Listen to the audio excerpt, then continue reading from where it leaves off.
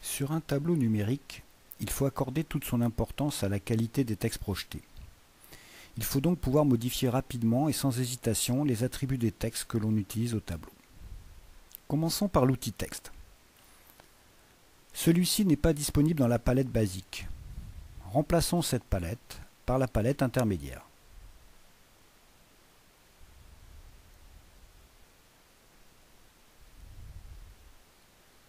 Dans la palette, on clique sur l'outil texte. La barre des fonctions et attributs affiche les attributs par défaut des textes. La police actuelle est Comics en MS et la couleur bleue. Tapons un texte. Il s'affiche dans les attributs par défaut.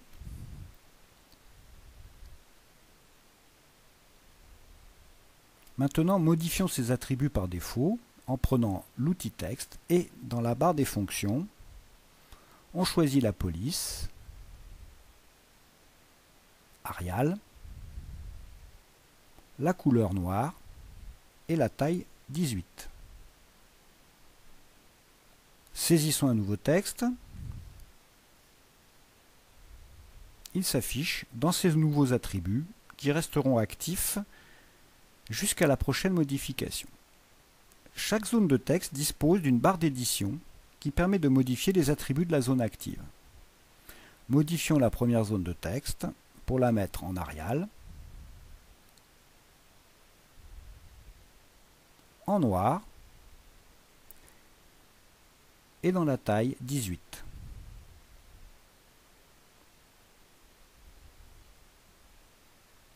Dans la deuxième zone de texte, on met uniquement TNI en italique en gras. Passons à l'outil reconnaissance de texte. Cet outil n'est pas disponible dans la palette intermédiaire, prenons-le dans la boîte à outils. Cet outil possède ses propres attributs par défaut, qui apparaissent dans la barre des fonctions et attributs. Actuellement, la police est Times New Roman et la couleur noire. Le texte est converti dans ces attributs. On peut bien sûr éditer ce texte et modifier par exemple sa taille.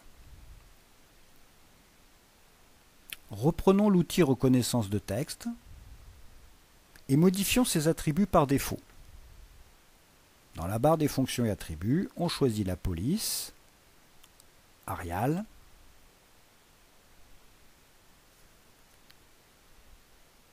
la couleur bleue et le gras.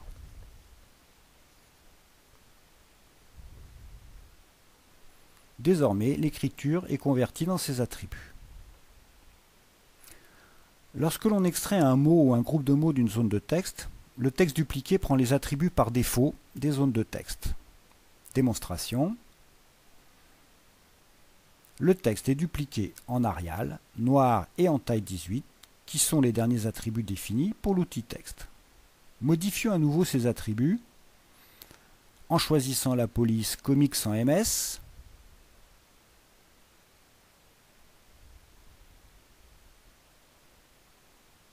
la couleur rouge, l'italique et le gras. Sélectionnons un groupe de mots.